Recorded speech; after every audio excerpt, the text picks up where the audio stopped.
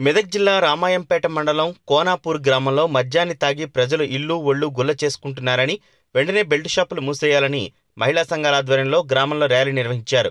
గ్రామంలో మద్యం అమ్మరాదని బెల్ట్ షాపుల యజమానులకు హెచ్చరికలు చేశారు. ఎవరైనా ఈ రోజు నుండి మద్యం అమ్మితే పదివేల రూపాయల జరిమానా విధిస్తామని తీర్మానం చేశారు.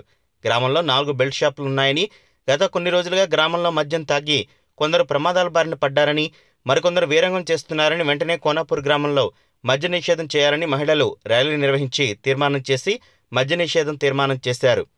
నా యొక్క నమస్కారాలు. మరి కోనపూరు గ్రామంలో మద్యం అమ్మకడం జరిగింది. ఇప్పటి వరకు కూడా అమ్మద్దని చెప్పడం జరిగింది.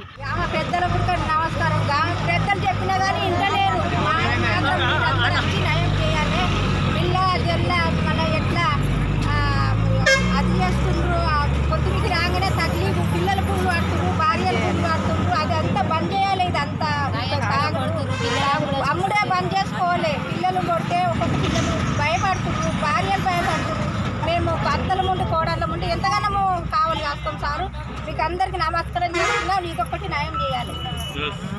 వాళ్ళందరూ తాగనీకి వస్తారు ఇంతకు ముందు చెప్పినాము వాళ్ళు వింటలేరు ఈయనక మేము కష్టం చేసి ఏం లాభము? రోడ్డు మీద అంత టక్కర్ అవుతురు పడుతురు బండి అంత నాశనం అవుతుంది మాది పరిస్థితి మాకు చూడస్తలేదు మాకు ఇంట్లో ఇబ్బంది పెడుతురు తాక్కుంటా తినుకుంటా. పిల్లలను చూస్తలేరు భార్యను చూస్తలేరు. మరి మేము మా పరిస్థితి ఇట్లా అని మేము ఊళ్ళో వచ్చి సర్పంచ్కి చెప్తే మీరు సబ్బులను అన్నీ జమ చేసుకొని మీరు రోడ్డు మీద వస్తే మేము మాట్లాడతాము అని చెప్పారు చెప్తే మీరు మేము వచ్చినాము. వచ్చినాక ఇగో ఇట్లా మాట్లాడుతున్నాము మాట్లాడి మరి అది ఈ తరఫున బంద్ చేస్తేనే సై కాకపోతే మేమంతా బయటకు నూకేస్తాము మా పిల్లగాడు మొన్న టక్కర్ అయిండు. టక్కర్ అయితే గాంజీలో ఉన్నాడు. ఆయన సస్తాడా బస్తాడా ముగ్గురు పిల్లలు. ఉన్న కమ్మలు అమ్ముకున్నాడు. కుస్తీ అమ్ముకున్నాడు. మరి ఈ పరిస్థితి ఇట్లా నడుస్తుంది మాది. మా పరిస్థితిని చూడాలి. కళ్ళులా మందు వేయద్దు. గాంజీలో పట్టలేరు. ఉస్మాన్ దాకాలో ఉన్నాడు. మండలి సభ్యురాలకు మిగతా గ్రామ ప్రజలందరికీ నా యొక్క నమస్కారాలు. దాదాపు గత ఆరు నెలల నుంచి కోనాపూర్ గ్రామంలో విచ్చలవిడిగా మద్యం అమ్మకాలు జరుగుతున్నాయి. అదేవిధంగా కళ్ళులో కూడా ఆ మందుకాలు ఎక్కడికి వెళ్ళి వస్తుందో రాంపేటకి వెళ్ళి ప్యాకెట్లలో మందేసి పంపిస్తారు దానివల్ల కోనాపూర్ విలేజ్లో కాకుండా పక్క ఉన్నటువంటి ఇసనపల్లె కానీ బాయిపల్లె కానీ ఈ విలేజ్ వచ్చి మందావుడు కళ్ళు తాగుడు దీనివలన రోడ్డు మీద యాక్సిడెంట్లు అవ్వడం పడిపోవడము ఇవన్నీతో కనబడుతున్నాయి ఊళ్ళో గందరగోళ వాతావరణం ఉంది. మేము కూడా గతంలో ఈ షాపులకు నోటీసులు కూడా ఇచ్చినాం.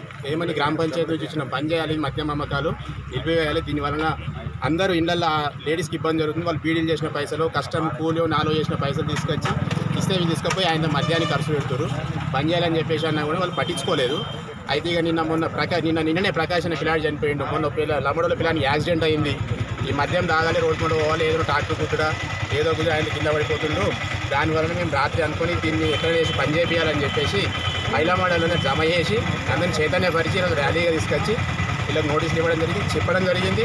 ఒకవేళ అమ్మినట్టయితే వాళ్ళకి పదివేల రూపాయల జరిమానా ఉంటుంది ఇంకా వేరే కూడా ఉంటుంది. ఇక తర్వాత పదివేల రూపాయలు కూడా భయపడకపోతే ఇంకా వేరే రకం కూడా తీసుకుంటాము. దీని గురించి మధ్యలో అధికారులకు కూడా చెప్పినాం పోలీస్ అధికారులకు. వాళ్ళు కూడా కొంచెం చూసి చూడనట్టు పోయారు కానీ ఇడికలు మాత్రం చాలా స్ట్రిక్ట్గా ఉంటుంది.